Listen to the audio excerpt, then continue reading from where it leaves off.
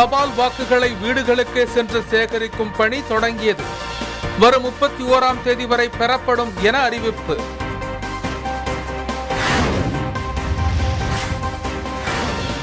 மாவட்ட தேர்தல் அதிகாரிகளுடன் சத்யபிரதா சாகு ஆலோசனை.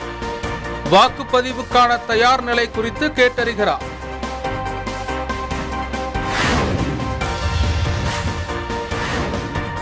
இந்திய மீனவர்கள் நாற்பத்தி ஓரு பேரை சிறைபிடித்தது இலங்கை கடற்படை. எல்லை தாண்டி மீன் பிடித்ததாக கூறி நடவடிக்கை.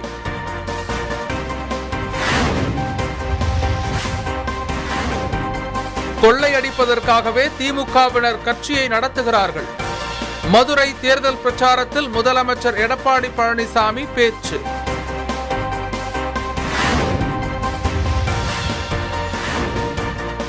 கோயில் குடமுழுக்கு விழாக்களுக்கு ஆயிரம் கோடி ரூபாய் ஒதுக்கப்படும். திருவண்ணாமலையில் தேர்தல் பிரச்சாரம் மேற்கொண்ட ஸ்டாலின் வாக்குறுதி.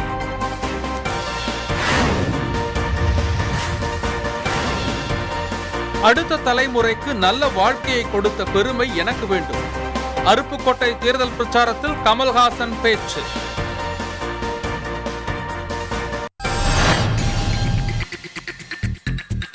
சட்டமன்ற தேர்தலுக்கு இன்னும் சில நாட்களே உள்ள நிலையில் முதியோர் உள்ளிட்டோரின் தபால் வாக்குகளை வீடுகளுக்கே சென்று பெறும் பணி தொடங்கியுள்ளது. சென்னையில் உள்ள பதினாறு தொகுதிகளிலும் எண்பது வயதிற்கு மேற்பட்டவர்கள் மாற்றுத்திறனாளிகள் மற்றும் கொரோனாவால் பாதிக்கப்பட்டவர்களின் தபால் வாக்குகள் இன்று முதல் வரும் முப்பத்தி ஒன்றாம் தேதி வரை வீடுகளுக்கே சென்று பெறப்பட உள்ளதாக தேர்தல் அலுவலரும் சென்னை மாநகராட்சி ஆணையருமான பிரகாஷ் தெரிவித்துள்ளார்.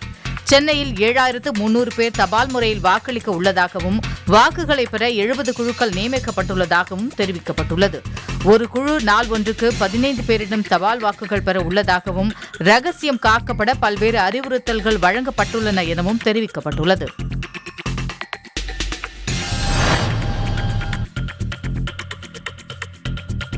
தமிழகத்தில் ஆறு கோடியே இருபத்தி எட்டு லட்சத்து அறுபத்து ஒன்பதாயிரத்து தொள்ளாயிரத்து ஐம்பத்தைந்து வாக்காளர்கள் இருப்பதாக தேர்தல் ஆணையம் தெரிவித்துள்ளது. தமிழகத்தில் ஜனவரி இருபதாம் தேதி இறுதி வாக்காளர் பட்டியல் வெளியிடப்பட்டது. அப்போது வாக்காளர்கள் எண்ணிக்கை ஆறு கோடியே இருபத்தாறு லட்சத்து எழுபத்து நான்காயிரத்து நானூற்று நாற்பத்தாறாக இருந்தது. பின்னர் தகுதியுடைய வாக்காளர்களை சேர்க்கும் பணி நடைபெற்றது. ஜனவரி இருபது முதல் மார்ச் பத்தொன்பது வரை புதிய வாக்காளர்கள் பட்டியலில் இணைந்த பின் ஆறு கோடியே இருபத்தி எட்டு லட்சத்து அறுபத்து ஒன்பதாயிரத்து தொள்ளாயிரத்து ஐம்பத்தி ஐந்து என வாக்காளர்கள் எண்ணிக்கை உயர்ந்துள்ளது. அதன்படி மூன்று கோடியே ஒன்பது லட்சத்து இருபத்து மூன்றாயிரத்து அறுநூற்று ஐம்பத்தோரு பேர் ஆண் வாக்காளர்கள். மூன்று கோடியே பத்தொன்பது லட்சத்து முப்பத்தி ஒன்பதாயிரத்து நூற்று பனிரெண்டு பேர் பெண் வாக்காளர்கள். மூன்றாம் பாலின வாக்காளர்கள் ஏழாயிரத்து நூற்று தொண்ணூத்தி இரண்டு பேர். ஆண் வாக்காளர்களை விட பெண் வாக்காளர்கள் பத்து லட்சம் பேர் அதிகமாக உள்ளனர்.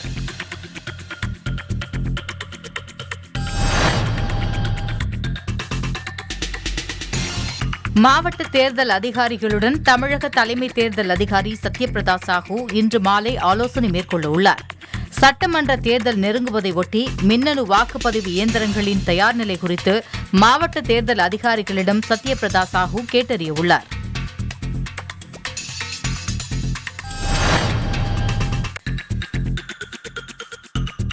தமிழகத்தில் ராமநாதபுரம் புதுக்கோட்டை காரைக்கால் ஆகிய இடங்களிலிருந்து மீன்பிடிக்க சென்ற நாற்பது மீனவர்களை இலங்கை கடற்படையினர் ஒரே நேரத்தில் சிறைபிடித்தனர். தமிழகத்திலிருந்து மீன்பிடிக்க செல்லும் தமிழக மீனவர்களை சிறைபிடித்து அவர்களை சுட்டுக் கொன்றும் அவர்களின் படகுகளை பறிமுதல் செய்தும் இலங்கை கடற்படையினர் அட்டூழியம் நடத்தி வருகின்றனர். இந்நிலையில் ராமநாதபுரம் மாவட்டத்திலிருந்து இரண்டு படகுகளில் மீன்பிடிக்க சென்ற இருபத்தி ஒரு மீனவர்களையும் புதுக்கோட்டை மாவட்டத்திலிருந்து இரண்டு படகுகளில் சென்ற பதினான்கு மீனவர்களையும் காரைக்காலிலிருந்து ஒரு படகில் சென்ற ஆறு மீனவர்களையும் இலங்கை கடற்படையினர் சிறைபிடித்ததாக தகவல்கள் வெளியாகியுள்ளன.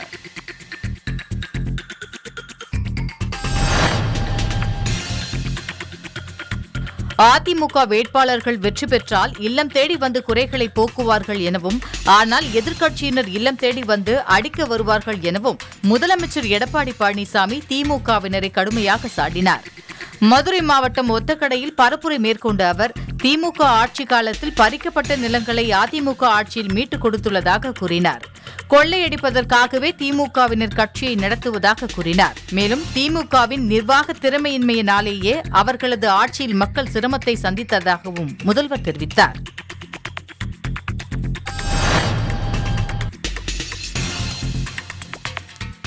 திருவண்ணாமலை மாவட்டத்தில் தேர்தல் பரப்புரை மேற்கொண்ட திமுக தலைவர் மு ஸ்டாலின் கோவில் குடமுழக்கு விழாக்களுக்கு ஆயிரம் கோடி ரூபாய் ஒதுக்கப்படும் என வாக்குறுதி அளித்தார். திமுக ஆன்மீக பணிகளை செய்ய காத்திருப்பதாகவும் தெரிவித்தார். யாருடைய நம்பிக்கைக்கும் இடையூறாக திமுக இல்லை எனவும் ஸ்டாலின் தெரிவித்தார்.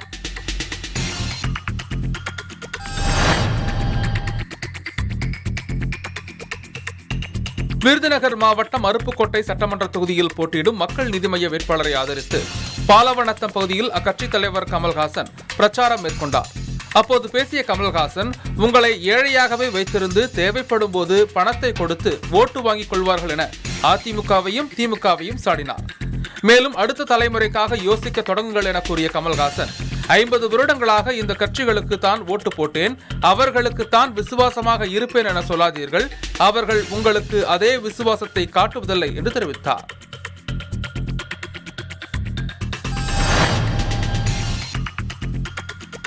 கோவை தெற்கு தொகுதியில் போட்டியிடும் பாஜக வேட்பாளர் வானதி ஸ்ரீனிவாசன் பந்தய சாலை பகுதியில் பேட்மிண்டன் விளையாடியவர்களுடன் தானும் சேர்ந்து விளையாடி வாக்கு சேகரிப்பில் ஈடுபட்டார்.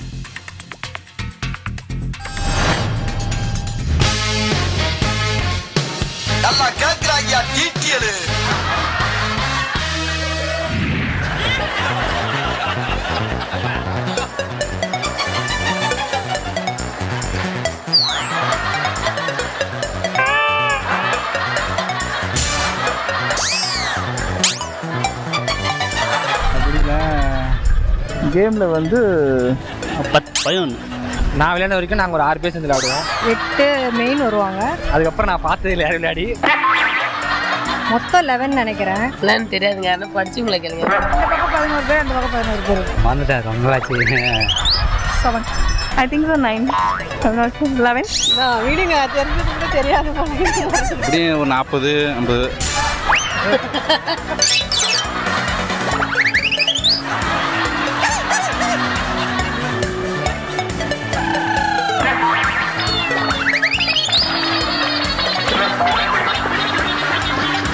மொத்தம் பன்னெண்டு பேர்.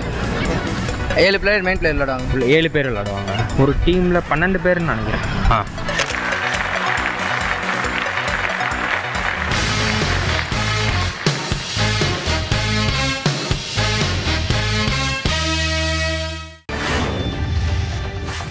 தருமபுரி மாவட்டம் அரூரை அடுத்த கோபிநாதம்பட்டி கூட்ரோட்டில் வாரச்சந்தை நடைபெற்று வருகிறது.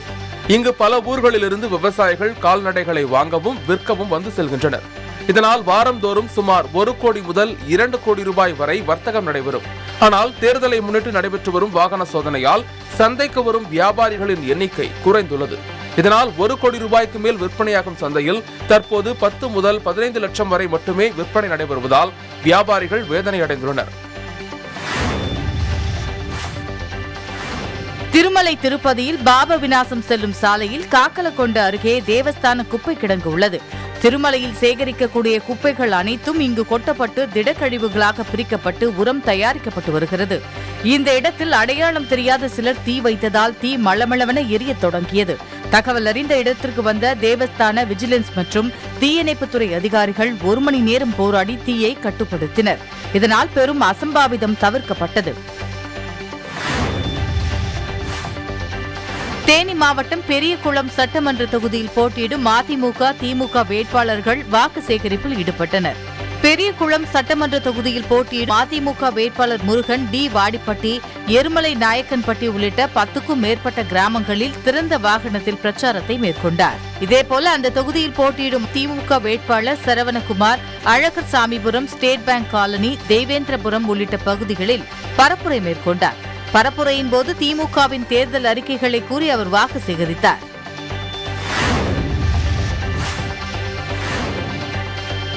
வேதாரண்யம் தொகுதியில் போட்டியிடும் திமுக அமமுக நாம் தமிழர் கட்சி வேட்பாளர்கள் தீவிர வாக்கு சேகரிப்பில் ஈடுபட்டனர். நாகை மாவட்டம் வேதாரண்யம் சட்டமன்ற தொகுதியில் போட்டியிடும் திமுக வேட்பாளர் எஸ் கே வேதரத்தினம் திறந்த ஜீப்பில் கூட்டணி கட்சியினருடன் சென்று தீவிர வாக்கு சேகரிப்பில் ஈடுபட்டார். அதேபோல கரியாப்பட்டினம் கிராமத்தில் அம்மா மக்கள் முன்னேற்றக் கழக வேட்பாளர் ஆறுமுகம் கூட்டணி கட்சியினருடன் வீடு வீடாக சென்று வாக்காளர்களை நேரில் சந்தித்து வாக்கு சேகரித்தார். நாம் தமிழர் கட்சி வேட்பாளர் ராசேந்திரன் துளசியாப்பட்டினம் கிராமத்தில் தனது கட்சியினருடன் வீடு வீடாக நடந்து சென்று வாக்கு சேகரித்தார். ராமநாதபுரம் மாவட்டம் திருவாடானை சட்டமன்ற தொகுதியில் காங்கிரஸ் வேட்பாளர் கருமாணிக்கம் வாக்காளர்களுக்கும் குழந்தைகளுக்கும் முகக்கவசம் கொடுத்து வாக்குகள் சேகரித்தார்.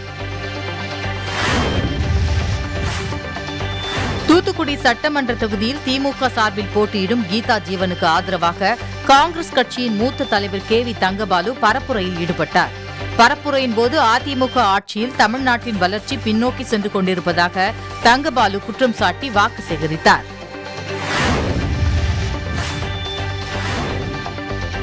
சட்டமன்ற தேர்தல் பரப்புரை கூட்டங்களில் பொதுமக்கள் அதிக அளவில் கூடுவதால் கொரோனா தொற்று பரவல் மேலும் அதிகரிக்கும் அபாயம் ஏற்பட்டு உள்ளதாக தேர்தல் ஆணையருக்கு கடிதம் அனுப்பப்பட்டுள்ளது. இதனால் தேர்தலை மூன்று மாதங்களுக்கு ஒத்திவைக்க வேண்டுமென வலியுறுத்தி சிவசேனா யுவசேனா கட்சி சார்பில் தமிழக தலைமை தேர்தல் ஆணையருக்கு திருப்பூரிலிருந்து பதிவு தபால் அனுப்பப்பட்டுள்ளது.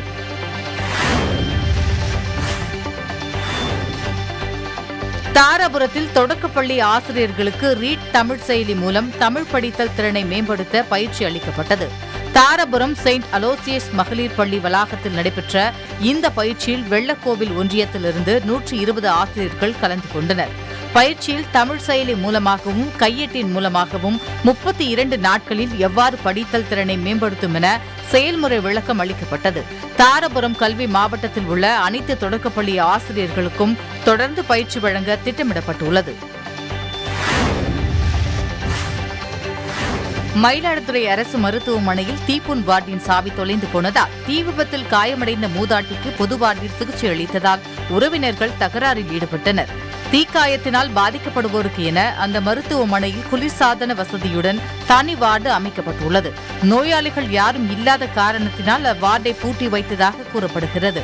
பின்னர் மருத்துவமனை ஊழியர்கள் தகராறில் ஈடுபட்டோரை சமாதானப்படுத்தினர். இதற்கிடையே ஒரு மணி நேரத்திற்கு பிறகு தீப்புண் வார்டு திறக்கப்பட்டு பாதிக்கப்பட்ட மூதாட்டி அனுமதிக்கப்பட்டார்.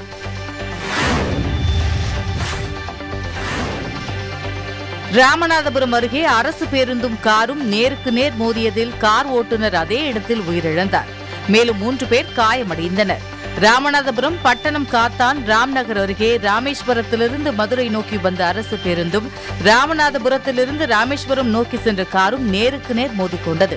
இதில் ராமநாதபுரம் மாரியம்மன் கோவில் தெருவைச் சேர்ந்த கார் ஓட்டுநர் முகேஷ் அதே இடத்தில் உயிரிழந்தார். மேலும் காரில் பயணித்த பிரபு மதன் ஆனந்த் ஆகியோர் பலத்த காயமடைந்து மருத்துவமனையில் அனுமதிக்கப்பட்டனர்.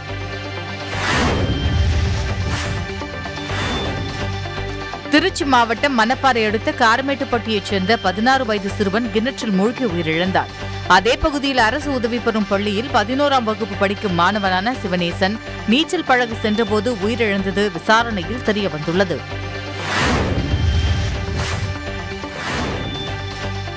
தருமபுரியில் கனகாம்பரம் பூ அமோக விளைச்சல் காரணமாக வரத்து அதிகரித்து ஒரு கிலோ இருநூறு ரூபாய்க்கு விற்பனையாகிறது. கடந்த சில மாதங்களாக அறுநூறு முதல் ஆயிரம் ரூபாய் வரை விற்பனையான கனகாம்பரம் பூ விலை சரிந்து தற்போது நூற்று ஐம்பது முதல் இருநூறு வரை விற்பனை செய்யப்படுகிறது. கொரோனா தடுப்பு நடவடிக்கையாக வெளி மாநிலங்களுக்கு செல்வதற்கும் வருவதற்கும் இ பாஸ் முறை கட்டாயமாக்கப்பட்டுள்ளது. இதனால் தருமபுரியிலிருந்து பெங்களூருக்கு கனகாம்பரம் பூவை எடுத்துச் செல்வது குறைந்துள்ளது. இதனால் கனகாம்பரம் பூ சாகுபடி செய்த விவசாயிகள் மற்றும் வியாபாரிகள் மிகுந்த ஏமாற்றமடைந்துள்ளனர். புகழ்பெற்ற திருவாரூர் தியாகராஜ சுவாமி கோவில் ஆழித்தேரோட்டம் இன்று காலை வெகு சிறப்பாக தொடங்கியது. திருவாரூர் கீழராஜ வீதியிலிருந்து புறப்பட்டு முக்கிய வீதிகள் வழியாக வலம் வந்து மீண்டும் கீழராஜ வீதிக்கு வந்தடையும் என எதிர்பார்க்கப்படுகின்றது. ஆசியாவின் மிகப்பெரிய தேரான தியாகராஜ சுவாமி கோவிலின் தேர் தொண்ணூத்தாறு அடி உயரமும் நானூறு டன் எடையும் கொண்டது இதன் சிறப்பம்சமாகும். தேர்திருவிழாவை முன்னிட்டு தமிழகம் மட்டுமின்றி நாட்டின் பல்வேறு பகுதிகளில் இருந்தும் பக்தர்கள் குவிந்து உள்ளனர். முன்னதாக விநாயகர் சுப்பிரமணியர் அம்பாள் சண்டிகேஸ்வரர் ஆகிய தேர்கள் பொதுமக்களால் வடம் பிடித்து இழுத்துச் செல்லப்பட்ட நிலையில் ஆழித்தேரினை மாவட்ட ஆட்சியர் சாந்தா வடம் பிடித்து இழுத்து வைத்து தொடங்கி வைத்தார்.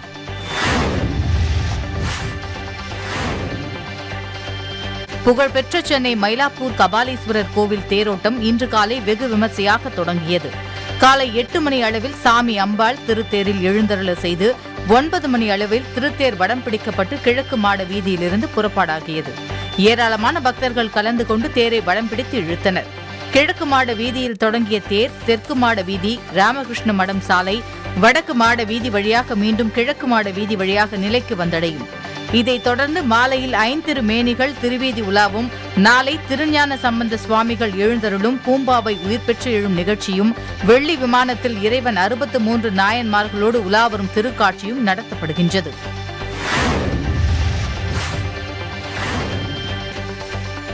தஞ்சை மாவட்டம் ஒரத்தநாடு கால்நடை கல்லூரியில் பயிலும் மாணவர்கள் இருபது பேருக்கு தொற்று உறுதி செய்யப்பட்டுள்ளது. மொத்தம் நானூற்று முப்பது பேருக்கு கொரோனா பரிசோதனை மேற்கொண்டதில் இருபது மாணவர்களுக்கு தொற்று உறுதியாகி இருக்கிறது. ஏற்கனவே நான்கு கல்லூரிகளைச் சேர்ந்த பதினெட்டு மாணவர்களுக்கு தொற்று உறுதியான நிலையில் தற்போது பள்ளி கல்லூரி மாணவர்கள் என மொத்தம் இருநூற்று இருபத்தைந்து பேருக்கு தொற்று உறுதி செய்யப்பட்டுள்ளது. இதில் நூற்று பதினைந்து மாணவர்கள் குணமடைந்து வீடு திரும்பியது குறிப்பிடத்தக்கது. காஞ்சிபுரம் மாவட்டத்தில் மேலும் ஐம்பத்து மூன்று மருத்துவக் கல்லூரி மாணவர்களுக்கு கொரோனா பாதிப்பு உறுதி செய்யப்பட்டுள்ளது. பொன்னேரிக்கரை பகுதியில் அமைந்துள்ள தனியார் மருத்துவக் கல்லூரியில் பயிலும் நான்கு மாணவர்களுக்கு கொரோனா தொற்று உறுதியான நிலையில் அவருடன் தொடர்பில் இருந்த பிற மாணவர்களுக்கும் பரிசோதனை மேற்கொள்ளப்பட்டது. இதில் கொரோனா தொற்று உறுதியான ஐம்பத்து மூன்று மாணவர்களுக்கு தனிமைப்படுத்தப்பட்டு சிகிச்சை அளிக்கப்பட்டு வருகின்றது. ராணிப்பேட்டை மாவட்டம் அரக்கோணம் அருகே அம்மா மக்கள் முன்னேற்ற கழக வேட்பாளர் மணிவண்ணன் செல்வ விநாயகர் கோவிலில் சிறப்பு பூஜை செய்து தனது பிரச்சாரத்தை தொடங்கினார். பின்னர் கோவிலுக்கு வந்திருந்த பெண்களின் காலில் விழுந்தும் தறி நெசவு செய்தும் வாக்கு சேகரிப்பில் ஈடுபட்டார்.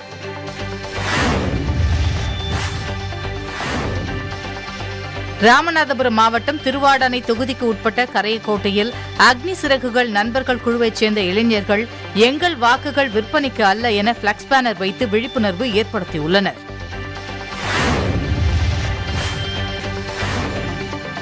வேதாரண்யம் அருகே கோடியக்கரை கடல் பகுதியில் பாம்பன் மீனவர் வலையில் அதிசய தாமரை வடிவ நண்டு சிக்கியது.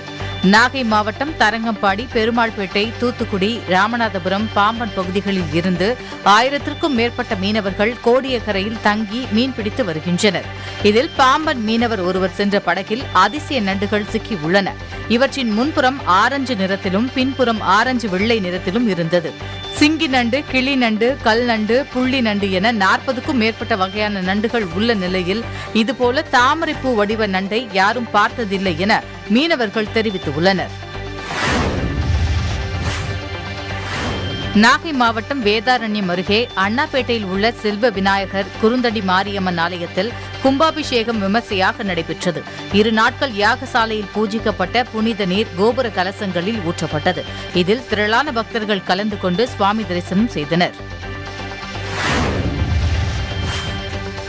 ராணிப்பேட்டை மாவட்டம் முத்துக்கடை அடுத்த மாந்தாங்கல் அருகே தோல் கழிவுகள் கலந்த குப்பையில் திடீரென தீப்பற்றி எரிந்ததால் வானளவிற்கு புகைமூட்டம் சென்றது. தகவல் அறிந்து சம்பவ இடத்திற்கு வந்த ராணிப்பேட்டை தீயணைப்புத் துறையினர் தீயை அணைக்க கடுமையாக போராடினர். சென்னை ஆலந்தூர் சட்டமன்ற தொகுதியில் போட்டியிடும் மக்கள் நீதி மய்யம் வேட்பாளர் சரத்பாபு நங்கநல்லூர் பகுதியில் பூ விற்றும் டீ கடையில் வடை சுட்டும் வாக்கு சேகரித்தார்.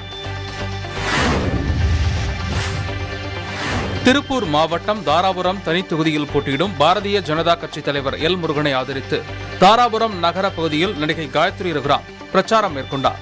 அப்போது பாரதிய ஜனதா வெளியிட்டுள்ள தேர்தல் வாக்குறுதிகளை எடுத்துக் கூறி வாக்குகள் சேகரித்தார்.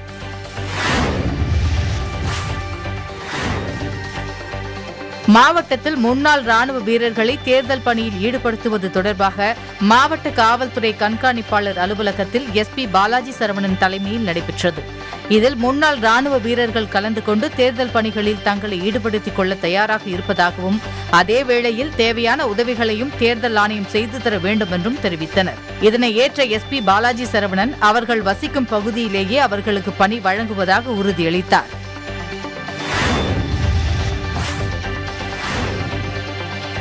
பெட்ரோல் டீசல் விலை இரண்டாவது நாளாக குறைந்துள்ளது.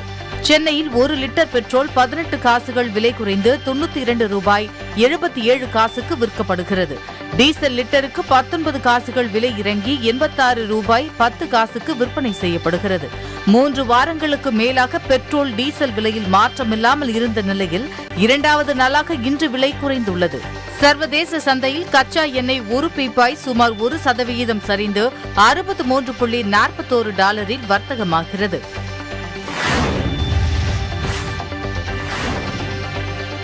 திருப்பதி ஏழுமலையான் கோவிலில் வருடாந்திர தெப்ப உற்சவம் கோலாகலமாக தொடங்கியது.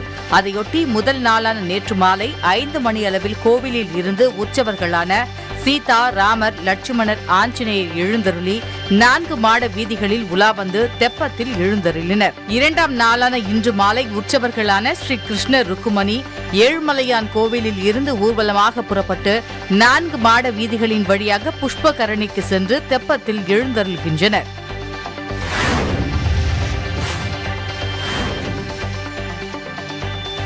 தமிழக கர்நாடக பக்தர்கள் இணைந்து கொண்டாடும் ஈரோடு மாவட்டம் தாளவாடி மாரியம்மன் கோயில் குண்ட திருவிழா சிறப்பாக நடைபெற்றது.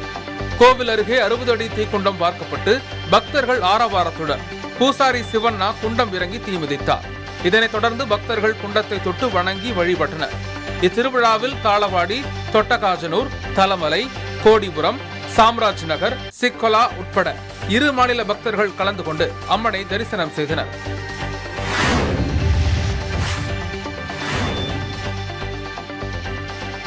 ஈரோடு மேற்கு சட்டமன்ற தொகுதியில் அமமுக சார்பில் போட்டியிடும் சிவசுப்பிரமணியன் என்பவர் முதியவர்களின் காலில் விழுந்து வாக்கு சேகரிப்பில் ஈடுபட்டார்.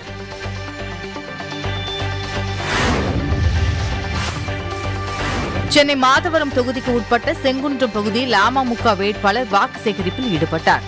அப்போது அங்குள்ள ஹோட்டலுக்குள் நுழைந்த அவர் தோசைகள் சுட்டு வாடிக்கையாளர்களுக்கு வழங்கினார். வேட்பாளரின் இந்த செயல் மக்களின் கவனத்தை பெற்றது. மயிலாடுதுறை சட்டப்பேரவை தொகுதியில் நாம் தமிழர் கட்சி சார்பில் போட்டியிடும் அந்த கட்சியின் சுற்றுச்சூழல் பாசறை மாநில துணை செயலாளர் காசிராமன் மக்களிடையே வாக்கு சேகரித்தார். நமச்சிவாயபுரம் கொர்க்கை ஆகிய ஊராட்சிகளில் வாக்கு சேகரித்த அவர் காளி கிராமத்திற்கு சென்றபோது அங்கு இயற்கை விவசாயி ஒருவர் நடத்தி வரும் நாட்டு சர்க்கரை தொழிலகத்திற்கு சென்று சர்க்கரை தயாரிப்பு குறித்து தானும் ஆர்வமுடன் கேட்டறிந்தார். பின்னர் பத்து மூட்டை நாட்டு சர்க்கரையை அவரிடமிருந்து வாங்கிய வேட்பாளர் காசிராமன் அந்த பகுதி பொதுமக்களுக்கு விநியோகித்து வாக்கு சேகரித்தார்.